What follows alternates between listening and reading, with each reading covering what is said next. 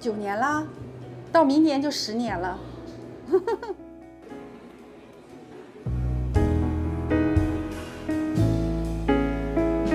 嗯，开这个店，我觉得我很幸运啊。我们当时就是来这个城市玩儿，然后无意中看到这个店要转让。当时这个店是做汉堡的，然后我们就把它给转下来了。就就是好像冥冥之中我就应该开这个饭店，所以就是一切都很顺利。对我们一直就没有变，是本来是想给它好好的装一下，但是一直就是没有这个契机吧，然后没有时间啊什么的。啊，现在就只有用我女儿的画，然后装饰。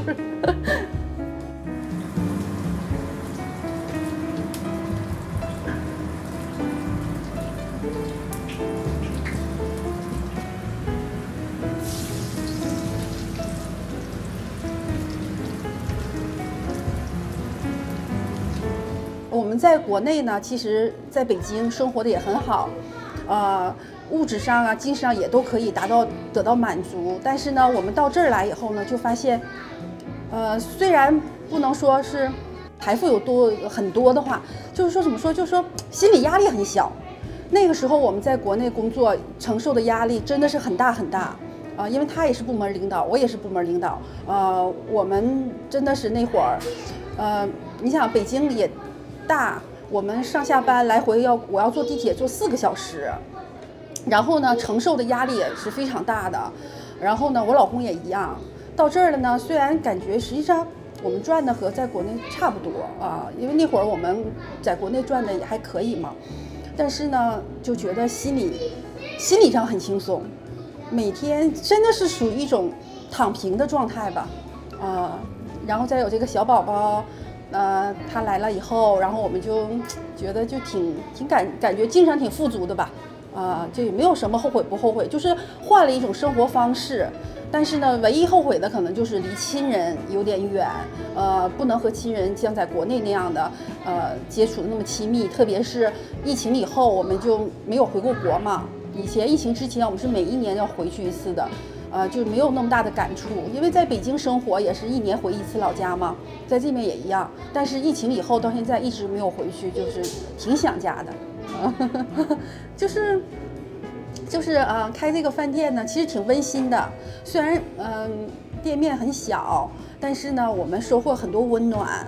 呃，你比如说，你们身后的这面这个这个窗户，我们窗户外面原先是有一层纱窗的。然后那一年呢，我们因为有自己有一些呃事情，就把店暂时关了，关了三个月。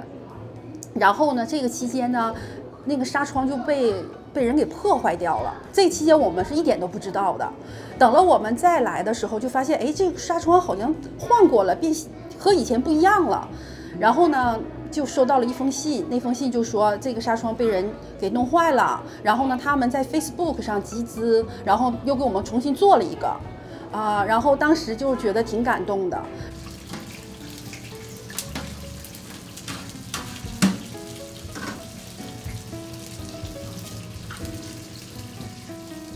就是怀孕期间也在这个给顾客服务嘛，有很多大部分的顾客就是他们吃完了以后就自己把盘子什么的自己捡下来，就不想让我不想让我去动，而且我孩子出生以后收到了超级多的礼物。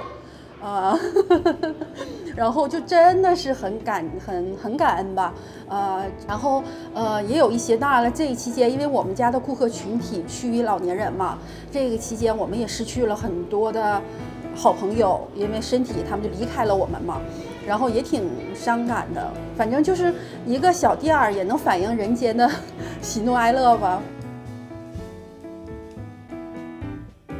其实想一想。